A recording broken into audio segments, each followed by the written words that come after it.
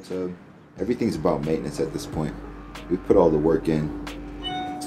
So these last couple days, like really, I'm trying to get physically prepared from a relaxation perspective because I'm trying to maintain all of the conditioning and physical development that I've gained over the last couple of months in preparation for this event while I'm cutting weight. So that's that's the balance. It's tricky trying to lose weight without cannibalizing muscle, without losing your pop and freshness and explosiveness.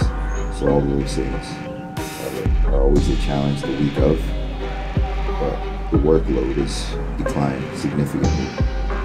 And so I feel peaceful, family's here, I'm healthy, kids are in school. So from a mental perspective, I'm in a great place.